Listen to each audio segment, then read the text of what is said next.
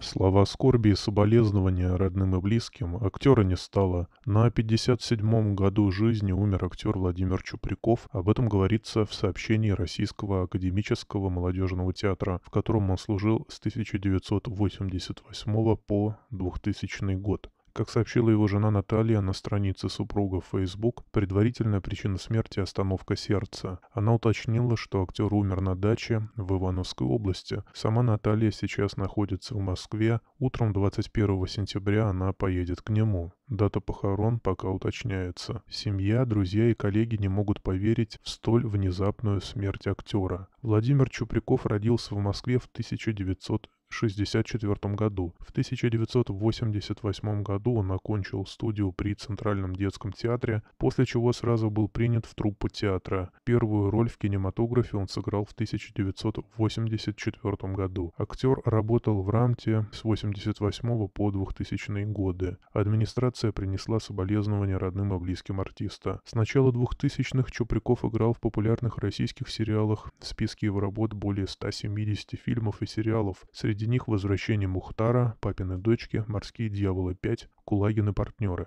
В нескольких фильмах и сериалах он исполнил роль Хрущева. Советского лидера он, в частности, сыграл в сериалах «Сталин Live», «Вольф Мессинг», «Видевший сквозь время», фильме «Гагарин. Первые в космосе».